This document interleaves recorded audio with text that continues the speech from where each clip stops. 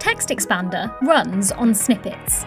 The combination of the abbreviation you type and the longer text which expands is called a snippet.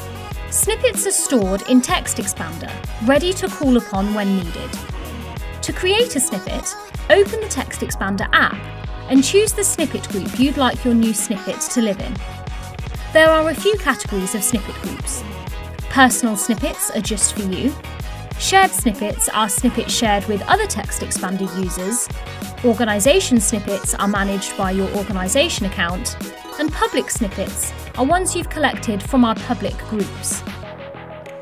Within each category, snippets are organised by group. Each snippet group has a name, settings, and snippets. After you've selected the group where you'd like your snippet to live, choose New Snippet. From here, you can type or copy-paste your content into the snippet editor. Then assign an abbreviation to your snippet and give it a label to make it easier to find when searching. You can trigger a snippet by typing the abbreviation you created or by using TextExpander's inline search feature.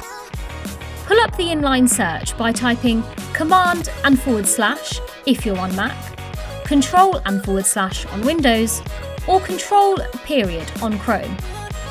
From here, you can search your snippets. TextExpander will search the snippet abbreviation, label, and content.